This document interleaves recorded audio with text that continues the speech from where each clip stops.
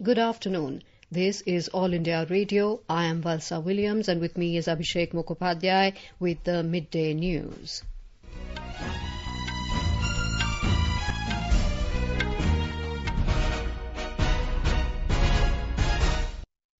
The headlines. Third phase of lockdown with different relaxations in green, orange and red zones comes into effect. Health Minister Dr. Harshvardhan says India's fight against COVID-19 has been exemplary and appreciated across the globe. Recovery rate of COVID-19 cases improves to over 26%. Prime Minister Narendra Modi to participate in the NAM summit through video conferencing this evening. India registers protest with Pakistan against efforts to bring material change in Pakistan occupied territories, asks it to vacate the areas.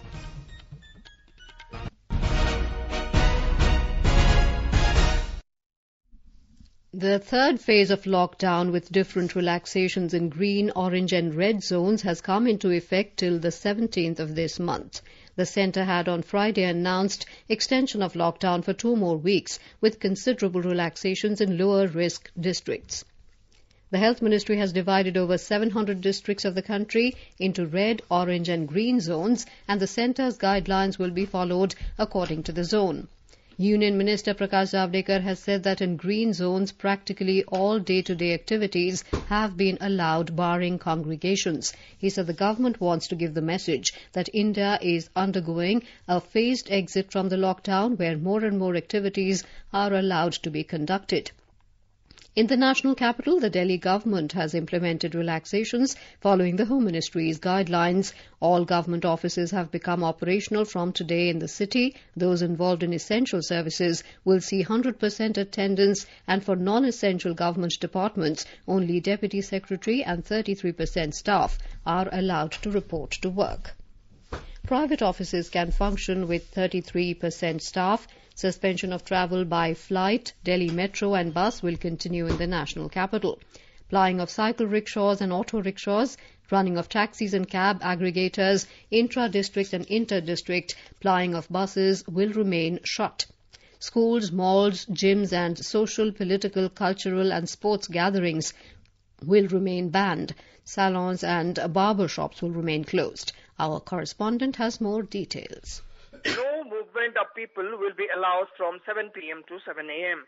Those aged above 65 years, pregnant women, those with pre-existing medical conditions and children below the age of 10 shall continue to stay at home except for meeting essential requirements and for health purposes. Outpatient departments, OPDs and medical clinics shall be permitted to operate in red, orange and green zones with social distancing norms and other safety precautions. However, these will not be permitted within the containment zones. Self-employed personnel are allowed to resume commercial activities. Connaught Place, malls and markets will remain closed, bearing shops selling essential goods. Stationery and standalone shops will be allowed to open. Print and electronic media, private security firms can open. Firms involved in manufacturing and supply of essential goods will be allowed to open. IT, hardware and e-commerce firms will be allowed to provide essential services. No liquor shop will be allowed to open in COVID-19 containment zones. Private vehicles carrying a driver and two rear passengers will be allowed to commute, but only to access essential services. Wedding functions with 50 people is allowed. Funeral is allowed with maximum 20 people. With Anand Kumar, Anupam Mishra, AIR News, Delhi. The recovery rate of COVID-19 patients has improved to over 26% in the country. A total of 11,706 people recovered after treatment and have been discharged from the hospitals. The total number of confirmed cases in the country now stands at 42,533, while a total of 1,373 deaths have been reported so far. With this, there are now 29,453 active cases in the country. Health Minister Dr. Harshvardhan has urged people to observe the extended period of lockdown in letter and spirit and treat it as an effective intervention to cut down the chain of transmission of COVID-19. Home Ministry Control Room will be utilized for resolving complaints and issues of drivers and transporters on passage of goods carriers, including empty trucks for interstate movement during the extended lockdown period. Drivers and transporters can use the control room number 1930 to lodge any complaint pertaining to the lockdown.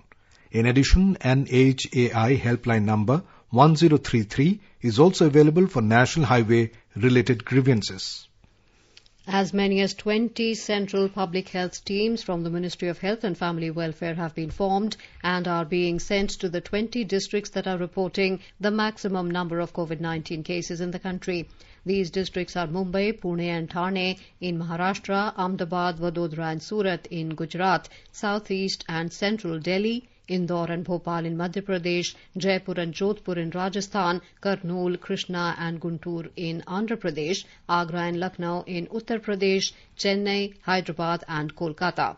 These teams will support the states in implementation of containment measures for COVID-19 in the affected areas within these districts and cities. The teams will assist the state governments.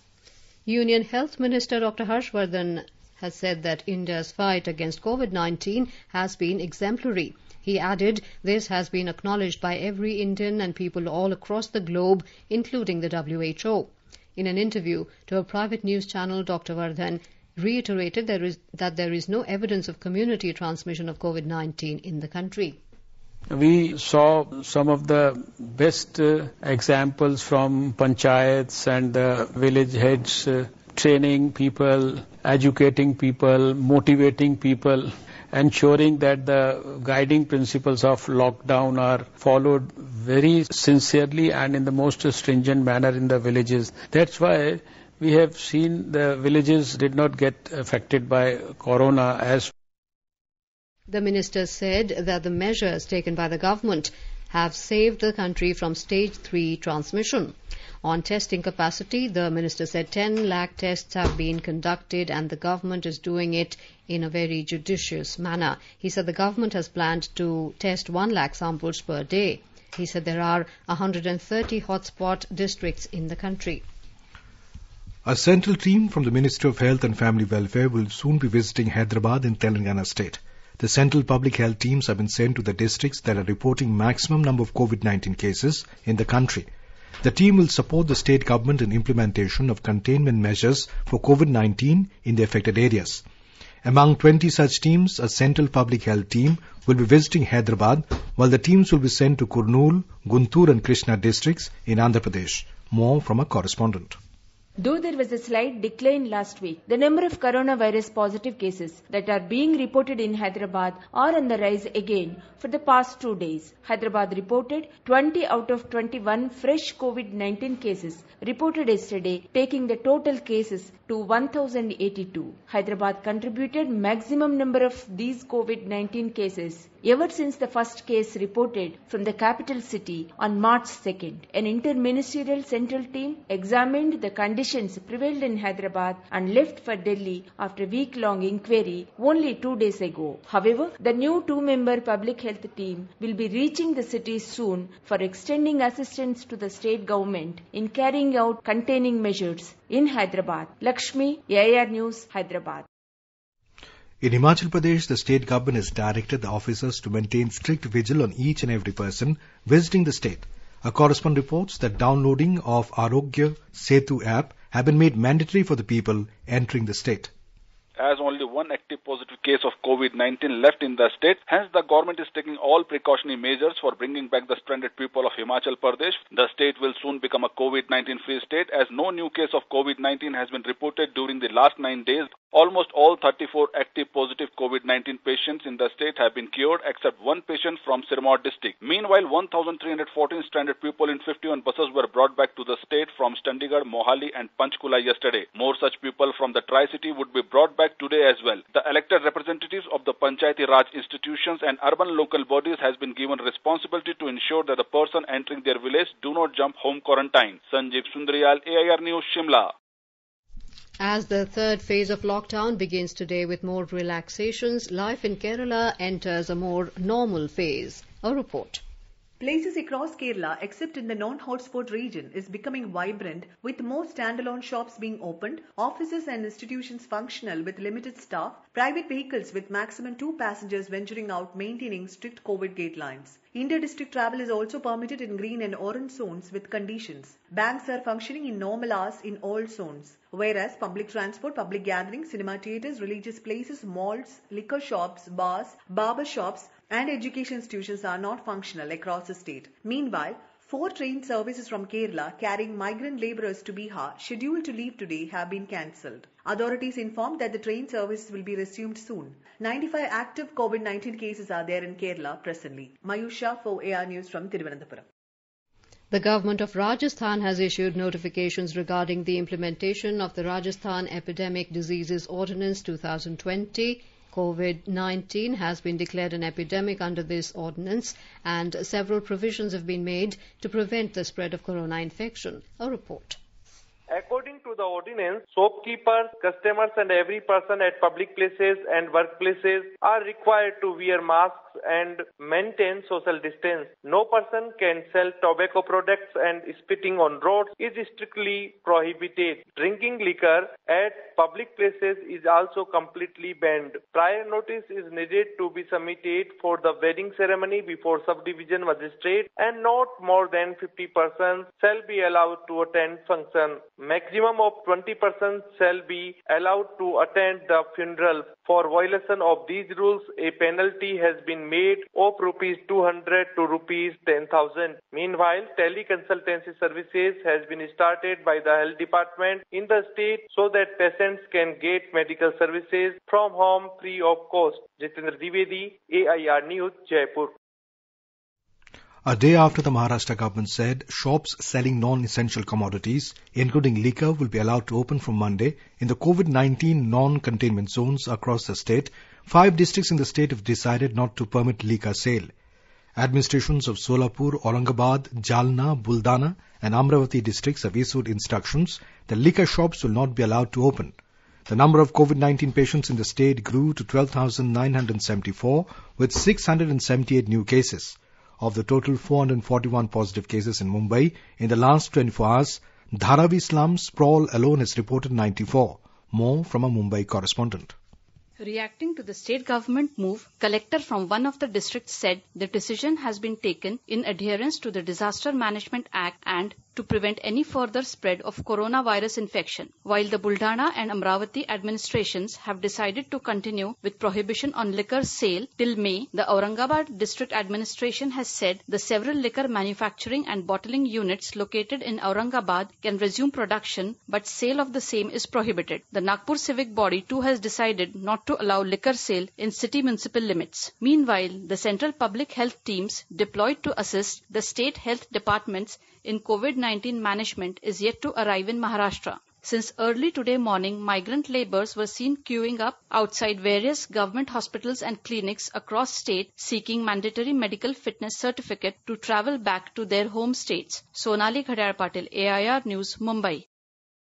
In Gujarat, the total number of COVID-19 cases went up to 5,428 with 374 fresh cases reported yesterday.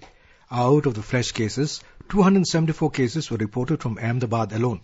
With this, the total cases in Ahmedabad rose to 3,817. Our correspondent reports that 28 patients, most of them having other severe disorders, succumbed to death yesterday. The number of discharges in the state is rising. Shramik trains are being run to ferry migrant workers in the state to the native states. A report. The situation in the walled city area, especially in Jamalpur ward in Ahmedabad, remains serious as the cases are still rising. AMC has started seven fever clinics in the ward to provide medical care to the people at their doorstep. Gujarat government has decided not to give any relaxation in the five cities, namely Ahmedabad, Vadodara, Surat, Bhavnagar and Gandhinagar, falling in red zone, while Rajkot in orange zone during the lockdown. The government has allowed industrial activities in the rural areas, in two municipal corporation areas and in more than 150 municipality areas. Pawn shops, barber shops and beauty parlors have also been allowed to open in green and orange zone during the lockdown. City and inter-district trade transport have been resumed in the green zone areas, including Amreli and Junagadh district. Meanwhile, two special Shramik trains were departed from Surat for Odisha, while two trains for Bihar and Jharkhand will be departed from Surat in the evening. Special Shramik Express train will also be started from Rajkot. Ahmedabad district administration is planning for three Shramik Express trains, two for Uttar Pradesh and one for Bihar. Aparna Khun, AR News, Ahmedabad. In Tamil Nadu, the full lockdown continues in the containment zones from where confirmed COVID-19 cases have been identified. The number of infected cases crossed the 3,000 mark yesterday. In a new high, 266 new cases were reported yesterday, including 203 in Chennai. More from our correspondent. As Chennai remains a major COVID-19 hotspot in Tamil Nadu, the union government has deputed a team of three senior physicians from the Jawaharlal Nehru Institute of Postgraduate Medical Education and Research, JIPMER, Puducherry. They come close on the heels of the interministerial central team who have wound up their nine-day visit to the state capital on Saturday. The central health team have discussed about the epidemic situation in the city with the state health secretary, the state special nodal officer for Chennai, and the City Corporation Commissioner. They also visited several COVID-19 treatment and management facilities in the city. Jai Singh, AIR News, Chennai.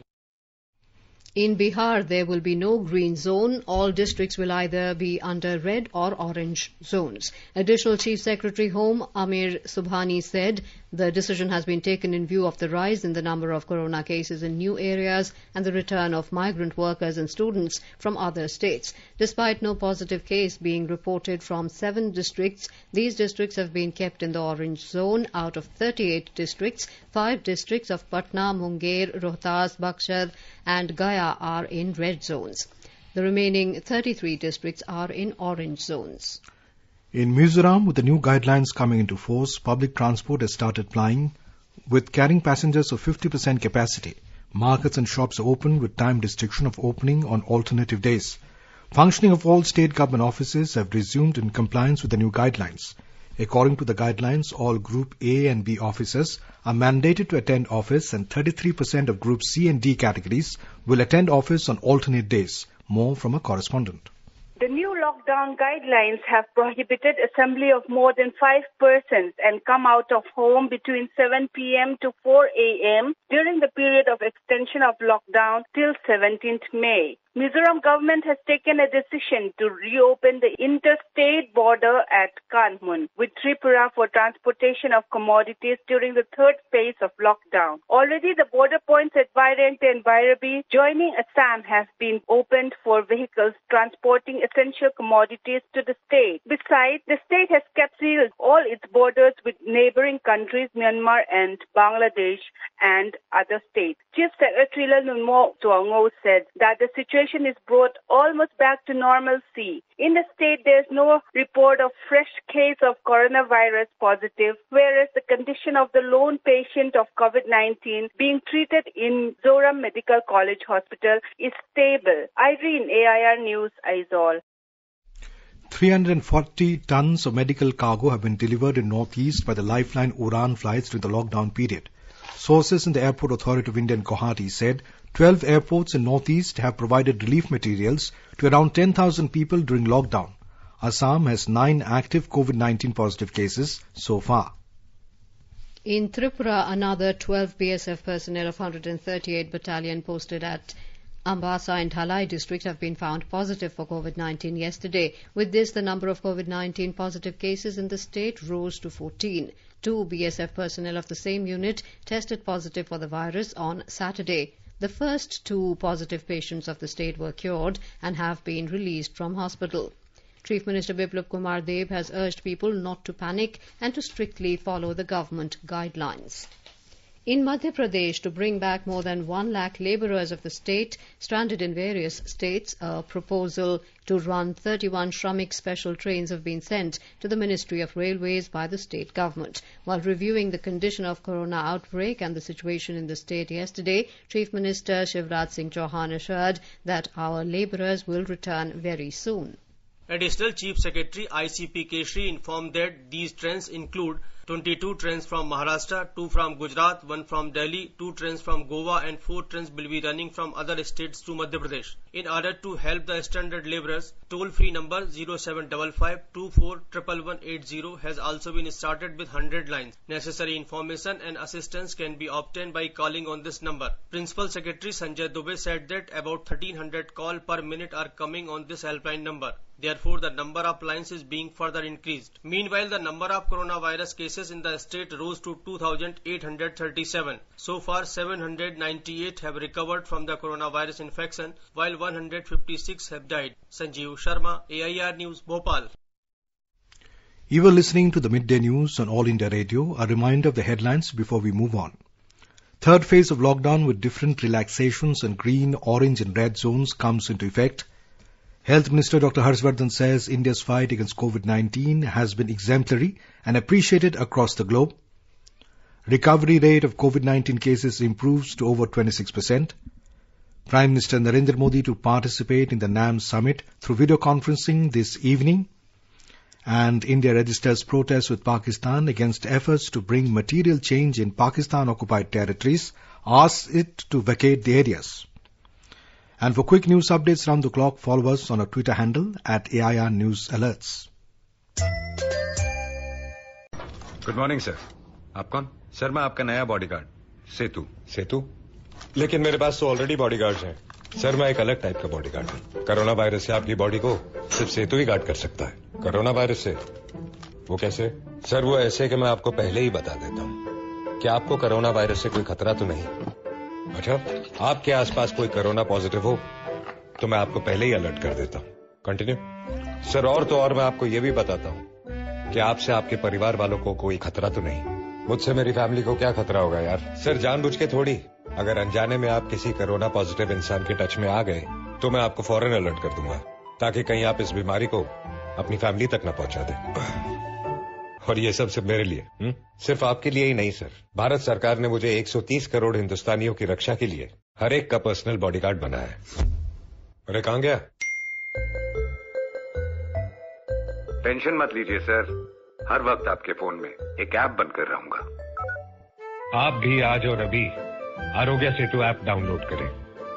सेतु मेरा bodyguard है और आपका भी।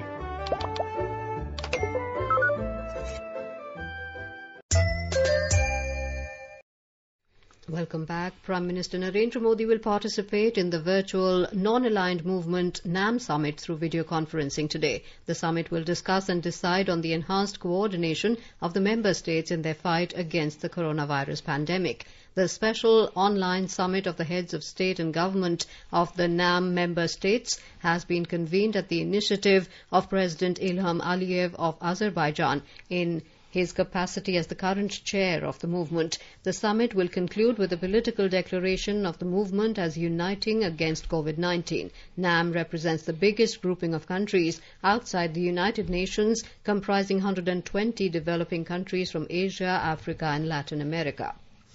India has protested against efforts to bring material change in Pakistan-occupied territories and asked the neighbouring country to vacate them. External Affairs Ministry said that India demarched a senior Pakistan diplomat and lodged a strong protest against the Supreme Court of Pakistan order on the so-called Gilgit-Baltistan. It was clearly conveyed that the entire Union territories of Jammu and Kashmir and Ladakh, including the areas of Gilgit and Baltistan, are an integral part of India by virtue of its fully legal and irrevocable accession, and the Pakistan government or its judiciary has no locus standi on territories illegally and forcibly occupied by it. In Jammu and Kashmir, Pakistani troops today targeted forward posts in villages along the line of control LOC in the twin districts of Poonch and Rajouri. A defense spokesperson said the ceasefire violation by Pakistan took place in Balakot sector of Poonch district and Manjakot sector of Rajouri district. There was no immediate report of any casualty. The spokesperson said that about 9 pm, Pakistan initiated unprovoked ceasefire violation by firing with small arms and shelling with the mortars along the LOC in Balakot sector. Later, Pakistan also targeted the Manjakot sector. He said the Indian army retaliated befittingly. In our series Experts Speak on All India Radio, we bring you the views of leading medical experts on COVID-19. Talking to AIR News, senior physician from Safdarjung Hospital, Dr. M.K. Sen said, these are testing times. He said the basic rules should be followed even during lockdown 3. ये घड़ी एक परीक्षा की घड़ी है। ये वक्त हमें और भी अधिक मात्रा में संयम और सुरक्षा और अनुशासन ये चीज़ों का ध्यान में रखना है। जो लॉकडाउन के मूल मंत्र हैं, जैसे कि सोशल डिस्टेंसिंग हुआ या स्वच्छता cleanliness use of mask hand washing बाकी जो भी चीज़ें बतलाई जाती है आमतौर पे, इसको हमें निरंतर इसका पालन हमें करते रहना होगा लॉकडाउन थ्री के दौरान भी। Renowned actress and BJP MP Hema Malini has appealed to people to remain indoors and follow social distancing to protect themselves from coronavirus. सभी वर्ग के सभी उम्र के लोग अपने अपने घर में रुके यही तो सच्ची देशभक्ति है तो आइए अपने परिवार को वो खुशनुमा पल दीजिए घर में रहिए और कोरोना को घर से बाहर रखिए Amid the nationwide lockdown, government extended every possible relief to those in need. Many NGOs working along with government also came forward to provide food and essential items to daily earners in these testing times. The Evangelical Fellowship of India Commission on Relief, EFICOR, a Delhi-based NGO supplied ration and safety gears to numerous laborers and residents of Delhi, along with its relief work in 14 other states across the country. Speaking to AIR News, Executive Director of the NGO EFICOR said that they worked in tandem with the Home Ministry's directions and guidelines and provided relief material to over 3,000 needy people. EFICOR has received a letter from the Ministry of Home Affairs requesting all the NGOs to be part of this intervention to support the stranded migrants and also provide them needy relief at this moment. So, obeying to that order, EFICOR has reached to migrant laborers in different parts of Delhi and we have almost covered 3,000 such families, those who are daily wage laborers and migrant who are stranded could not be able to go to their native places. So with a dry food ration and also safety gear. Government has rejected WhatsApp message claiming that it is giving 3,500 rupees monthly to every unemployed under the Prime Minister Unemployed Allowance Scheme. In a tweet, Press Information Bureau termed it as fake. It clarified that no such scheme has been run by the central government.